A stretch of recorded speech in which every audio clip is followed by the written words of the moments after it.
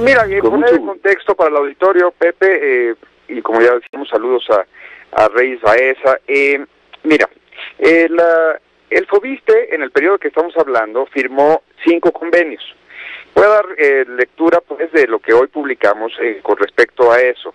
Eh, este es un ejemplo. La Universidad Autónoma del Estado de México recibió 223 millones 87 mil pesos del FOBISTE por estos cinco convenios. el propósito era supuestamente rediseñar o simplificar los procesos de atención a derechohabientes. La universidad no tenía la capacidad para dar el servicio, así que contrató a una compañía de nombre Interamericana Negocios y Comercio SADCB, que en realidad se dedica, por eso mencionaba seguramente eh, el señor José Reyes Baeza, según su acta constitutiva, esta empresa se dedica a la venta de zapatos, que andaba haciendo, eh, rediseñando sistemas en el Fobiste, una empresa que se dedica a la venta de zapatos, vayan ustedes a saber. A esta empresa se le dieron 15 millones de pesos, un poquito más, y también se contrató a otras tres empresas para ahorrarle al público, eh, me resumo los nombres, pero Todas ellas son investigadas desde octubre pasado por hacer operaciones irregulares y además tres más que no están registradas ante la Secretaría de Economía. Aquí hay un debate que yo creo que es lo que tenemos que tener. Tiene razón y no, desde mi punto de vista, que es el de un periodista ignorante, eh, el señor José Reyes Baeza cuando él dice, nosotros contratamos una universidad y ella pues, pues eh, nos subcontrató.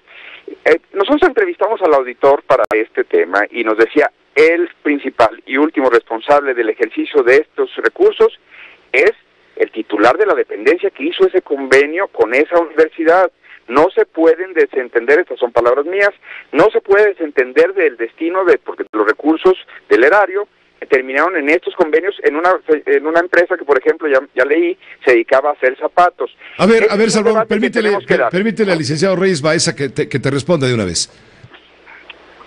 A ver, nada más, porque mira, eh, en ningún momento el FOBISTE se, entiende de, la supervisión, el seguimiento, la evaluación de los programas. Nosotros tenemos minutas que están en poder de la auditoría y en poder, por supuesto, de la función pública, decenas de minutas en las que directamente el vocal ejecutivo, entonces un servidor, estuvo presidiendo reuniones de trabajo con personal técnico calificado y en las reuniones de estas nunca hubo un responsable de ninguna empresa zapatera.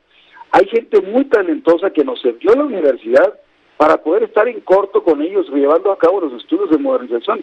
Nunca nos desentendimos de este proceso de evaluación de aplicación de los recursos públicos. Obviamente que la universidad, es decir, si un banco le da un crédito a un tercero para que compre una casa y el tercero compra la vivienda y ya en título de dueño el tercero arrenda ese inmueble a, a una cuarta persona y resulta que el arrendatario hace mal uso del inmueble, no es responsabilidad del banco acreditante, nosotros contratamos el servicio a la universidad, la universidad nos entrega toda la información requerida, los programas operativos lograron modernizar al FOBISTE, pues ahí está la estadística que podemos comparar en cualquier momento, y nosotros no dejamos de dar seguimiento y evaluación a la aplicación y el ejercicio de estos recursos. Sería importante que revisáramos caso por caso, no podemos tasar con el mismo rasero a todos. Y si hay un funcionario público que se equivocó en este o en cualquier otro contrato, que se le sancione de acuerdo a los términos de la ley. Para eso está, por supuesto, la auditoría y para eso están los órganos de fiscalización interna y, por supuesto, los de la función pública. Nosotros estamos en la plena disposición de que se continúe con la indagatoria y con ello lograr que finalmente se pueda clarificar y no dejar una percepción errónea o equivocada, aunque fuera parcialmente en algunos casos, en cuanto a estos supuestos eh, ejercicio indebido de recursos públicos. Yo estoy, eh, repito, pugnando por la transparencia absoluta y plena.